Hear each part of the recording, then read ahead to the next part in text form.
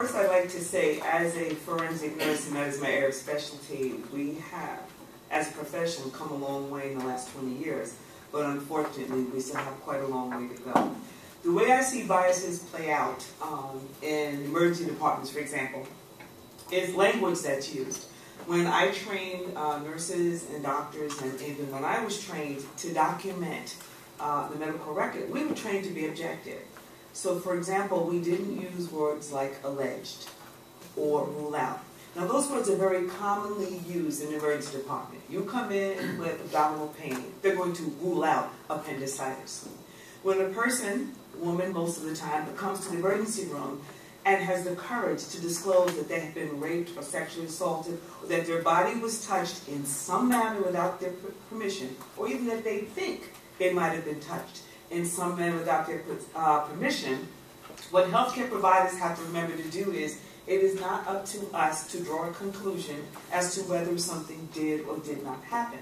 It is our role to document objectively what the patient tells us, to document objectively what we see, and if we go on to court and testify, and if we are asked to give an opinion, our opinion should be based on if what we saw is consistent with what the patient says. I would never, ever say in a court of law or to a police officer or to anyone, yes, the patient was raped. Because I don't know.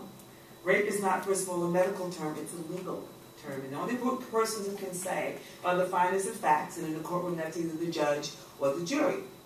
But what I can say is, these are the findings that I've documented. Sometimes I can call them injuries. Sometimes I have to call them findings because all I know is this is what I found when I examined her. I can't always even say if what I found is an injury. I can just say it's there.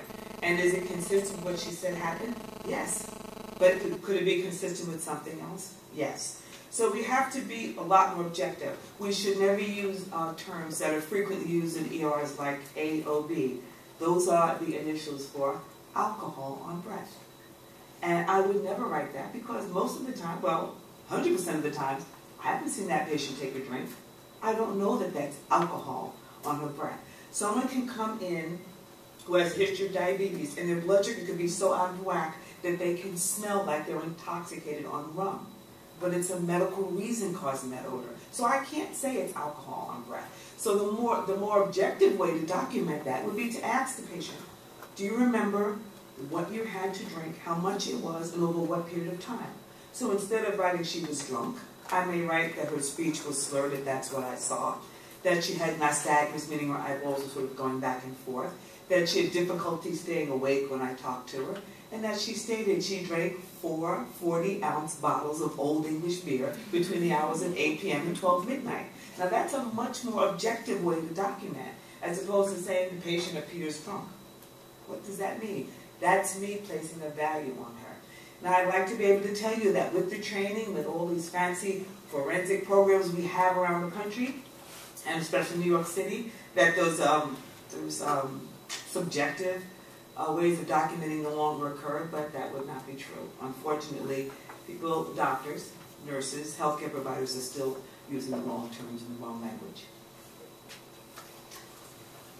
Um, and, and how does this, you know, the fact that this may happen, what's the end result? I mean, how can this be damaging?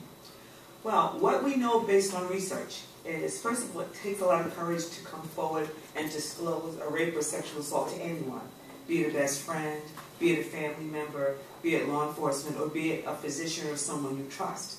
And what we know based on research is if the first one or two people that you talk to about this are not compassionate, and especially if they act like they don't believe you, then you are less likely to tell anyone else. That stands for children as well as adults. And so if first responders, be it the patrol officer in uniform, the person that's in the ambulance, or the nurse that takes the story in the triage area of the ER, if they have a preconceived notion or a bias or treat you in a certain way, that can totally shut the person down. And unfortunately, it can delay proper medical care and it can most adversely affect criminal justice. And then we know if criminal justice is affected, then perpetrators are not held accountable. Yeah, I think you were giving me uh, an example. You know, if someone writes down um, no, uh, you know, acute, acute distress not evident or something. Yeah. Another very common term that you'll see in an emergency room um, record would be NAD. That means no acute distress. Now, when a healthcare person writes that, that means that their blood pressure is normal, they don't have a fever, their breathing is easy, their color is good. That means their, their vital signs are not distressed. A lay jury, when they read no acute distress on the medical record, they think she wasn't upset. So if she wasn't upset, how could she have been raped? Because people have their own preconceived notion about what a person looks like after they've been raped or sexually assaulted. So we have to be very careful what we write. And I always train nurses, but especially doctors. You must document that medical record objectively, but you write that note as if your grandmother or your 12-year-old child was going to read it. Don't assume that the people in the jury know medical terms, you know? If the bruise on her arm is round and the size of a quarter and purple in color, then it's okay to write. Purple round area the size of a quarter on the arm, as opposed to a three centimeter ecchymotic area on the right upper forearm. What does that mean to the jury? It means a lot to me because I know what ecchymosis is. But how many of you out there know what it is or even know how to spell it? You see what I mean? So you have to be really careful what you write.